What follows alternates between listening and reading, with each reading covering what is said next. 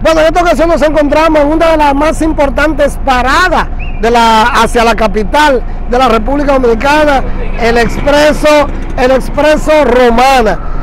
aquí vemos también el poco flujo de, vehículos como hacia la capital. Eh, regularmente esto aquí siempre está lleno de pasajeros.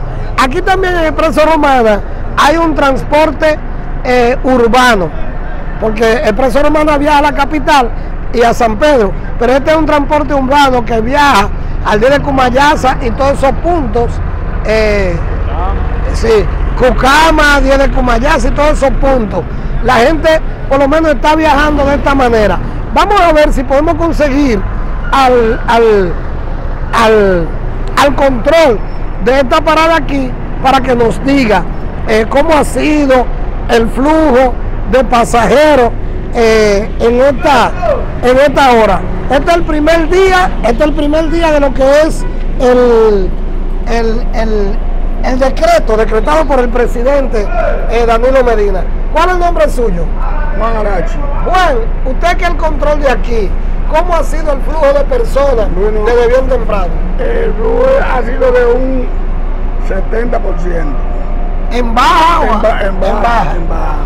El Expreso Romana es uno de los, de, los transportes más importantes de la Romana, donde converge una gran cantidad de público y vemos que solamente hay una guagua aquí esperando. Bueno, tenemos, ¿Cómo han manejado ustedes Tenemos de 50 guaguas, tenemos 25 guaguas trabajando, dándole una hora para poder cubrir el gasoil.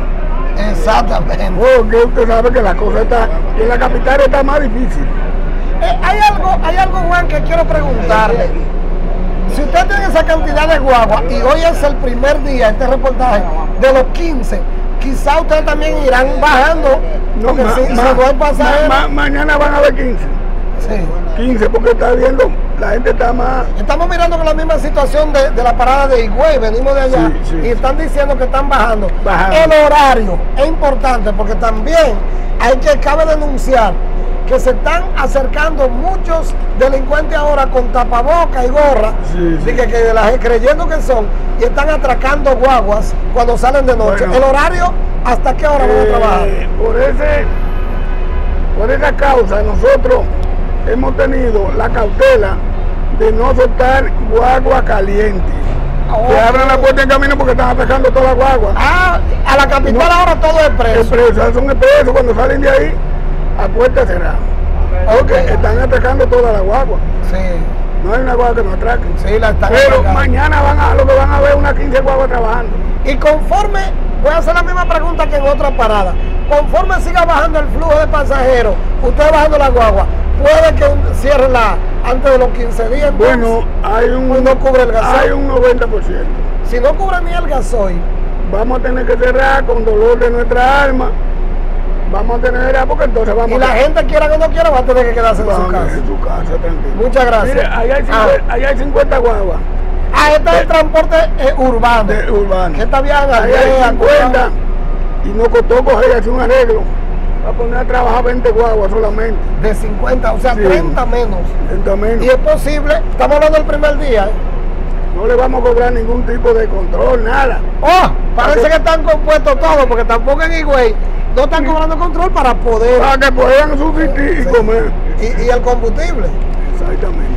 Gracias, Juan. Bueno, estamos hablando con Juan el control. Vamos a ver si hablamos con uno de los altos ejecutivos de Expreso Romana, como dijimos, uno de los más importantes transportes de la ciudad de la Romana, de Romana, Santo Domingo y Santo Domingo Romana, Romana San Pedro, San Pedro la Romana. Continuamos en este reportaje especial en el primer día de los 15 decretados por el ciudadano presidente licenciado Danilo Medina Sánchez debido a la pandemia del coronavirus.